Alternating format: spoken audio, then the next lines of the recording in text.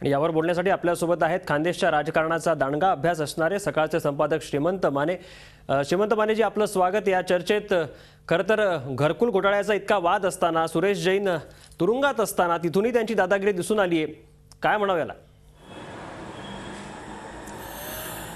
नाही ब- त्याच्यामध्ये असं आहे की ब- सुरेश जैन जरी ज कारागृहात असताना जरी त्यांची आघाडी निवडून आलेली असली तरी मुळात हा विरोधी पक्षनेते एकनाथ खडसे आणि जळगावचे जे माजी पालकमंत्री होते राष्ट्रवादीचे जे नेते आहेत गुलाबराव देवकर तर यांचा हे यांचं हे अपयश ठळकपणे या निवडणुकीतून समोर आलेलं आहे. हा, मुद्दा असा आहे दुसरा की जसं आपण- आपण म्हणालात की देवकर यांचं हे अपयश म्हणता येईल पण भाजप आणि काँग्रेसच्या हातात बरेच मुद्दे होते. घरकुल घोटाळ्याचा हा मुद्दा असेल किंवा निवडणुकीच्या प्रचारात देखील अनेक मुद्दे आले. भाजपला फारसं काही करता आले नाही. एकनाथ खडसे निष्प्रभ ठरले असं म्हणता येईल? नाही निष्प्रभ ठरले म्हणण्या याच्यापेक्षा असं आहे की घरकुलच्या मुद्द्यावरती पोलीस कारवाई झाली. फौजदारी खटला दाखल झालेला आहे.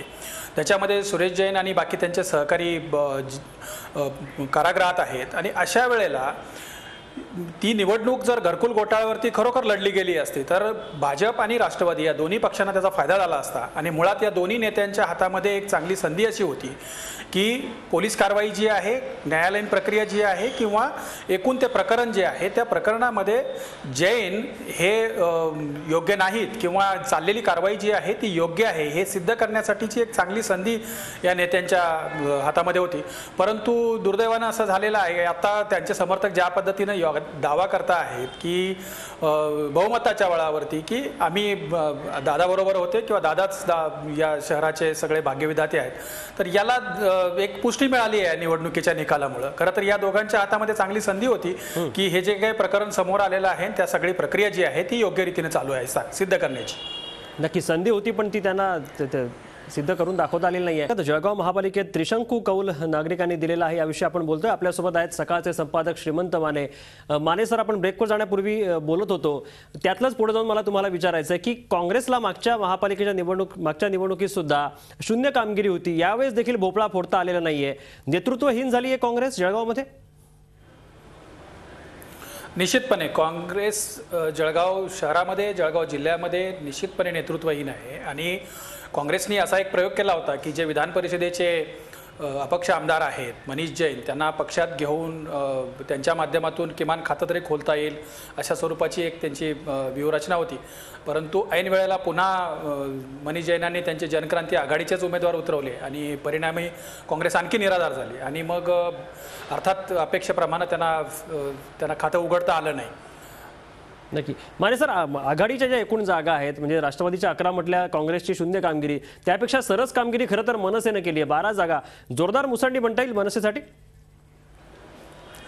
हां मनसेच्या दृष्टीनं खरंच त्यांचं अभिनंदन करायला पाहिजे. ज्याप्रमाणे जैनांची आघाडी जी आहे खानदेश विकास आघाडी तिचं जसं आपण अभिनंदन करतो आहोत तसंच मनसेचं तो अभिनंदन करायला पाहिजे. की त्यांनी त्यांची ताकद आहे. विशेषतः ललित कोल्हे आणि कोल्हे कुटुंब जे आहे त्याचा मोठा आधार मनसेला मिळाला. आणि मग त्या आधारावरती त्यांनी चांगली व्यूहरचना करून बारा जागा मिळवल्या. राष्ट्रवादीपेक्षा त्या जागा जास्त आहेत.